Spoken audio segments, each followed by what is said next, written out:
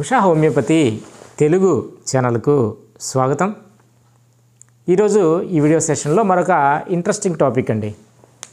అదే ఈ కెంటు ట్వెల్వ్ అబ్జర్వేషన్స్లో ఈ థర్డ్ అబ్జర్వేషన్ గురించి ఈరోజు కొంత చర్చ అనేది చేద్దామండి. ఇంతకుముందు మనం Kent twelve అబ్జర్వేషన్స్లో first observation second observation homeopathy medicine ఇచ్చిన తర్వాత మనకు షార్ప్గా అగ్రవేషన్ అనేది ఉండి స్లోగా గ్రాడ్యువల్గా సిమ్టమ్స్ ఎమలరేట్ అవ్వకుండా ఇంకా తగ్గకుండా కంటిన్యూస్గా పెరుగుతూ ఉంటే దాన్ని ఏ విధంగా అర్థం చేసుకోవాలి? తర్వాత గ్రాడ్యువల్గా సిమ్టమ్స్ పెరిగి ఎప్పటికో కొన్నాళ్ళకి ఆ సిమ్టమ్స్ తగ్గినాయి అనుకోండి దాన్ని ఏ విధంగా అర్థం చేసుకోవాలి అనే విషయాన్ని ఇంతకుముందు వీడియోలో కొంతవరకు చర్చించాం. మరి ఈరోజు ఈ వీడియో సెషన్లో మనం హోమియోపతి మెడిసిన్ ఇచ్చిన తర్వాత ఆ సిమ్టమ్స్ అనేది షార్ప్గా రైజ్ అయినాయి. షార్ప్గా రైజ్ అయ్యి మరి ఆ సిమ్టమ్స్ అనేది షార్ప్గా తగ్గిపోయినాయి. లేదంటే ఆ సిమ్టమ్స్ అనేది కొన్ని రోజులు గ్రాడ్యువల్గా కొన్ని రోజులు అంటే ఇంతకుముందు ఫస్ట్ అబ్జర్వేషన్లో లాగా లాంగ్ స్టాండింగ్ అగ్రవేషన్ కాదు. కొన్ని రోజులు అగ్రవేషన్ అయ్యి కొన్ని కొన్ని రోజులు ఒక one week or ten days aggravation తర్వాత ఆ సిమ్టమ్స్ అనేది అలాగే ఎంత స్పీడ్గా అయితే పెరిగినాయో అంత స్పీడ్గా తగ్గుతూ వచ్చినాయి. మరి దాన్ని ఏ విధంగా అర్థం చేసుకోవాలి అనే విషయాన్ని ఈరోజు ఈ వీడియో ఈ వీడియో సెషన్లో చర్చిద్దామండి. ఈ third observation Kent third observation కింద వస్తుంది ఇది. మనం మెడిసిన్ ఇచ్చిన తర్వాత పేషెంట్ ఫర్ ఎగ్జాంపుల్ ఒక కేసు తీసుకోండి కాఫ్ కేసు తీసుకోండి. బ్రాంకైటిస్తో మన దగ్గరకు పేషెంట్ వచ్చాడు. క్రానిక్ అంటే దగ్గు దగ్గు దగ్గుతో ఒక ఈ దగ్గు అనేది ఒక టెన్ డేస్ బ్యాక్ ఇతనికి స్టార్ట్ అయింది. మన దగ్గరికి వచ్చాడు. మన హోమియోపతి మెడిసిన్ ఫర్ ఎగ్జాంపుల్ ఈ కాస్టికమో లేదంటే ఫాస్ఫరస్ ఈ క్యాలియం బైక్రోమికమో ఇండికేట్ అయింది. ఆ మెడిసిన్ సెలెక్ట్ చేసి టూ హండ్రెడ్ పొటెన్సీలో ఒక రెండు మాత్రలు ఇచ్చాము ఆ పేషెంట్కి. ఇచ్చిన తర్వాత ఆ పేషెంట్ యొక్క దగ్గు అనేది పెరిగిపోయింది. రోజు ఉదయం పూట సాయంత్రం ఒక గంట సేపు కాఫ్ వచ్చేది మనం మెడిసిన్ ఇచ్చిన తర్వాత ఆ రోజు రెండు గంటలు రావటం మొదలుపెట్టింది. అలాగే దగ్గు కూడా ఇంటెన్సిటీ కూడా బాగా పెరిగింది. బాగా పెరిగి అలా ఒక రోజు ఒక గంట సేపు వచ్చేది ఈరోజు రెండు గంటలు ఉంది. అలా నెక్స్ట్ డే మీకు అరగంటే వచ్చింది. ఆ తర్వాత రోజు ఆ దగ్గు అనేది ఒక పావు గంటే వచ్చింది. అలా మూడో రోజు ఆ దగ్గు అనేది అసలు రానే రాలేదు. ఇది థర్డ్ అబ్జర్వేషన్లోకి వస్తుంది. ఇక్కడ ఏమో ఏం అర్థం చేసుకోవాలంటే ఆ సిమ్టమ్ మనం మెడిసిన్ ఇచ్చిన తర్వాత సిమ్టమ్స్ అనేది షార్ప్గా పెరిగినాయి ఆ తర్వాత గ్రాడ్యువల్గా అంతే షార్ప్గా తగ్గిపోయినాయి. అంటే ఇక్కడ అండర్లయింగ్ మనం మనం ఇచ్చినటువంటి మెడిసిన్ అనేది కరెక్ట్ మెడిసిన్ తర్వాత లోపల ఆర్గన్ డ్యామేజ్ అనేది ఏమీ లేదు. లంగ్స్ అనేది కూడా అంత క్లియర్గా ఉన్నాయి లివర్ అనేది ఆర్గన్స్ అన్నీ కూడా మీకు ఎక్కడ కూడా డ్యామేజ్ అనేది లేదు. ఆ డిసీజ్ అనేది మీకు స్ట్రక్చరులో డ్యామేజ్ లేదు. ఓన్లీ ఫిజియాలజీలో మాత్రమే ఆ ఫంక్షన్స్లో మాత్రమే డిస్టర్బెన్స్ అనేది ఉంది.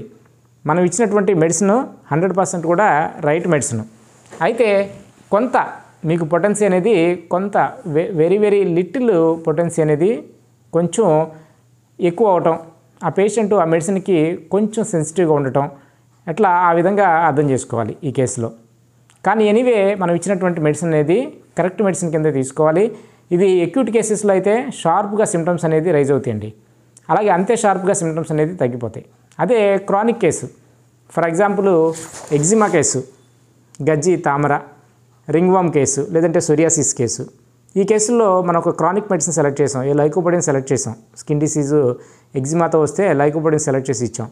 ఆ పేషెంట్కి ఒక టెన్ డేస్ పాటు లేదంటే ఒక ఫిఫ్టీన్ డేస్ పాటు ఆ సిమ్టమ్స్ అన్నీ కూడా ఇంతకు ముందు కన్నా ఆ ఇరప్షన్స్ అనేది కూడా ఆ స్కిన్ డిసీజ్ అనేది ఇంతకు ముందు కన్నా పెరిగింది. పెరిగి అక్కడి నుంచి గ్రాడ్యువల్గా తగ్గటం అనేది మొదలైంది. ఈ ఫై ఈ ఫిఫ్టీన్ డేస్ షార్ప్గా పెరిగింది. అలాగే ఆ నెక్స్ట్ ఫిఫ్టీన్ డేస్లో ఎంత పెరిగిందో అంతకన్నా ఎక్కువ తగ్గింది. అలా ఈ కేసులో కూడా క్రానిక్ కేసులో కూడా కొన్ని రోజుల పాటు అగ్రవేషన్ నుండి వెంటనే అదే విత్ ఇన్ షార్ట్ టైంలోనే మరలా తగ్గటం. ఇది కూడా థర్డ్ అబ్జర్వేషన్ కిందే వస్తుంది. ఇక్కడ ఈ కేసులో కూడా మనం సెలెక్ట్ చేసినటువంటి మెడిసిన్ హండ్రెడ్ పర్సెంట్ కూడా రైట్ మెడిసిన్ కిందే మనం తీసుకోవాలండి. ఇక్కడ అగ్రవేషన్ అంటే మీరు భయపడాల్సినటువంటి అవసరం ఏం లేదు. సో డాక్టర్ గారు ఈ అగ్రవేషన్ వల్ల ఇప్పుడు హార్ట్ డిసీజ్తో వచ్చాడు. చాలామందికి ఈ డౌట్ వచ్చేస్తుంది వెంటనే.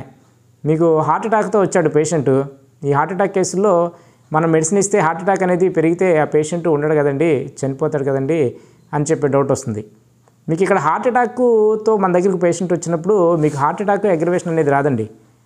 మీకు ఆ సిమ్టమ్స్ అనేది అవుట్వర్డ్ ఎక్స్ప్రెషన్ మీకు హార్ట్ అటాక్ మెడిసిన్ ఇచ్చారనుకోండి మీకు ఎలాగంటే తుమ్ములు రావటం లేదంటే దగ్గు రావటం లేదంటే ఒక లూజ్ మోషన్ అవటం కొంచెం అంటే అవుట్వర్డ్ ఎక్స్ప్రెషన్ ఇంటర్నల్గా ఉన్నటువంటి బాడీలో ఏదైతే పాథలాజికల్ ఫ్లూయిడ్స్ ఉంటాయో ఆ ఫ్లూయిడ్స్ బయటికి పోయే మార్గం లేదంటే స్కిన్ మీద వెంటనే ర్యాష్ లాగా ఒక అర్టికేరియా లాంటి దురద రావటం ఇలా స్కిన్ మీద దద్దులు రావటం ఇలా ఈ హార్ట్ అటాక్ని మినిమైజ్ చేసేటటువంటి ఆ సిమ్టము ఎగ్రవేట్ అవుతుంది తప్ప ఆ పేషెంట్ని మనం రైట్ మెడిసిన్ ఇచ్చినప్పుడు ఆ పేషెంట్ని కొలాప్స్ చేసేటటువంటి ఆ పేషెంట్ యొక్క లైఫ్ని స్పాయిల్ చేసేటటువంటి అగ్రవేషన్ అనేది రాదండి. గుర్తుంచుకోండి ఇక్కడ మనం రైట్ మెడిసిన్ ఇచ్చినట్లయితే రైట్ మెడిసిన్ రైట్ పొటెన్సీ ఇచ్చినట్లయితే అది థర్డ్ అబ్జర్వేషన్లోకి వస్తుంది. ఆ సిమ్టమ్స్ అనేది షార్ప్గా అగ్రివేట్ అయ్యి షార్ప్గా తగ్గుతాయండి. అంతేవిధంగా మీకు అవుట్వర్డ్ ఎక్స్ప్రెషన్ కూడా ఆ సిమ్టమ్స్ యొక్క మీకు క్రానిక్ డిసీజ్లోనైనా ఎక్యూట్ డిసీజ్లోనైనా మీకు తుమ్ములు బ్రాంకైటిస్ దగ్గుతో వచ్చాడనుకోండి. ఆ కొన్ని కేసుల్లో ఏమవుతుందంటే అగ్రవేషన్ ఎలా ఉంటుందంటే మనం దగ్గుకు మెడిసిన్ ఇస్తాం. దగ్గుకు మెడిసిన్ ఇచ్చిన తర్వాత మీకు తుమ్ములు అనేది స్టార్ట్ అవుతాయి. ఇక తట్టుకోలేనంత తుమ్ములు అనమాట తుమ్మి తుమ్మి తుమ్మి మీకు ఆ లంగ్స్లో ఉన్నటువంటి ఫ్లూయిడ్ అంతా కూడా ఆ తుమ్ముల ద్వారా బయటకు వచ్చేస్తుందండి. అట్లా. లేదంటే ఆ పేషెంట్ మనకు మీకు ప్లోరసీతో వచ్చాడు. ప్లోరసీ అంటే లంగ్ పైన ఉన్నటువంటి లేయర్స్లో నీరు చేరటం. మనకి ఆలోపతి డాక్టర్స్ అనుకోండి మీకు ఆ నీరు తీయటానికి సూదులతో తీస్తారు. తీసి దానికి యాంటీబయాటిక్స్ ఇవ్వటం అలా మాస్ ట్రీట్మెంట్ అనేది ఉంటుంది ఆ కేసులో. మనకి ఇక్కడ హోమియోపతిలో ఇది క్యూరేటివ్ ట్రీట్మెంట్. ఇది మాస్ ట్రీట్మెంట్ కాదు. మీకు ఏమవుతుందంటే రైట్ మెడిసిన్ మీకు ఫ్లోరసీతో వచ్చినప్పుడు ఈ ఫాస్ఫరస్ థర్టీనో లేదంటే సల్ఫర్ టూ హండ్రెడ్ పొటెన్సీనో మనం ఇచ్చినప్పుడు ఇండికేషన్ బట్టి మనం ఇచ్చినప్పుడు ఏమవుతుందంటే వెంటనే లూజ్ మోషన్ అనేది స్టార్ట్ అవుతుందండి. ఇక్కడ అగ్రివేషన్ అంటే ఈ విధంగా ఉంటుంది. అంతేగాని మళ్ళీ ఫ్లోరసీ పెరిగిపోయి ఆ పేషెంట్ ఆయాసంతో ఆయాసం ఎక్కువైపోయి తట్టుకోలేనటువంటి ప్రాణాపాయ స్థితిలోనికి వెళ్ళటం అనేది జరగదు. మీకు ఈ లంగ్స్ చుట్టూ నీరు చేరింది లేదా హార్ట్ చుట్టూ నీరు చేరింది. మీకు హోమియోపతి మెడిసిన్ ఇచ్చారు. హోమియోపతి మెడిసిన్ ఇవ్వగానే మీకు ఆ లూజ్ మోషన్ అనేది స్టార్ట్ అయిపోతుంది. లేదంటే తుమ్ములు స్టార్ట్ అవుతాయి. అగ్రివేషన్ అనేది ఈ- ఈ విధంగా ఉంటుంది ఈ లైఫ్ థ్రెటనింగ్ కేసుల్లో. అప్పుడు కూడా మనం ఏ ఇది కూడా కెంట్ థర్డ్ అబ్జర్వేషన్లోకే వస్తుంది. మీకు అప్పుడు కూడా మీరు రైట్ పొటెన్సీ ఇచ్చారని చెప్పి మీరు అర్థం చేసుకోవాలి. ఆ అగ్రవేషన్ని మీరు మరలా సప్రెస్ చేయటం అనేది చేయకూడదు. ఈ లూజ్ మోషన్ స్టార్ట్ అయినాయని చాలామంది పేషెంట్స్ మనకు చెప్పకుండా మీకు మరలా ఆ లూజ్ మోషన్స్కి వేరే మెడిసిన్ అలోపతి మెడిసిన్ వాడి ఆపేయడం జరుగుతుంది. మరలా అక్కడ ఒరిజినల్గా ఉన్నటువంటి డిసీజు క్యూర్ అవ్వకుండా ఆ ఒరిజినల్గా మీకు అదే అదే ఫామ్లో ఉండేటటువంటి అవకాశం ఉంటుంది. అలా హోమియోపతిని మన యాక్షన్ని ఈ విధంగా కెంట్ అబ్జర్వేషన్స్ ద్వారా మనం పర్ఫెక్ట్గా కనుక ఈ విధంగా మనం అర్థం చేసుకుంటే హోమియోపతి మెడిసిన్ ద్వారా మన హండ్రెడ్ పర్సెంట్ కూడా మీకు క్యూర్ అనేది ఇంక సప్రెషన్ ఎక్కడ కూడా సిమ్టమ్స్ని సప్రెస్ చేయకుండా హండ్రెడ్ పర్సెంట్ కూడా క్యూర్ అనేది తీసుకురాగలిగేటటువంటి అవకాశం ఉంటుందండి. ఇది ఈరోజు కెంటు ట్వెల్వ్ అబ్జర్వేషన్లో ఈ థర్డ్ అబ్జర్వేషన్ గురించి కొంతవరకు మనం చర్చించామని అనుకుంటున్నాను. మీకు చివరిగా చెప్పాల్సిన ఇంకొక విషయం ఏంటంటే మనకు ఆల్టర్నేట్ ఛానల్ అనేది డాక్టర్ వాయిస్ అని చెప్పి మీకు ఆల్టర్నేట్ ఛానల్ అనేది ఒకటి క్రియేట్ చేయడం జరిగిందండి. దాని యొక్క లింకు కింద మీకు డిస్క్రిప్షన్లో ఇస్తూ ఉన్నాను.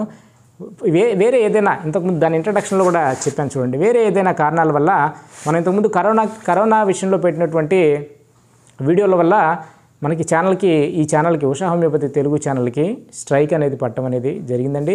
మరలా భవిష్యత్తులో స్ట్రైక్ ఏదైనా పడి మరలా మనం కరోనా టైంలో ఇంకేదైనా కొత్త వీడియోలు పెట్టి స్ట్రైక్ పడేటటువంటి అవకాశం ఉంటే మరి ఛానల్ అనేది ఎఫెక్ట్ అయ్యేటటువంటి అవకాశం ఉంటుంది. అందువల్ల మనకు ఆల్టర్నేట్గా మనకు ఈ ఛానల్ కనుక అవైలబుల్గా లేకపోతే మీకు ఆల్టర్నేట్గా డాక్టర్ వాయిస్ అనేటటువంటి ఛానల్లో మన వీడియోస్ అనేది ఏపేర్ అవుతాయండి. అందువల్ల దయచేసి మీ అందరూ కూడా ఈ డాక్టర్ వాయిస్ అనే వాయిస్ అనేటటువంటి ఛానల్ని కూడా మీరు సబ్స్క్రైబ్ చేసుకోండి. అంతేకాకుండా ఈ డాక్టర్ వాయిస్ ఛానల్లో హోమియోపతికి హోమియోపతికి సంబంధించి కాకుండా ఇంకా వేరే ఇతర సబ్జెక్ట్స్ని కూడా మనం చర్చించేటటువంటి అవకాశం ఉంటుందండి అక్కడ.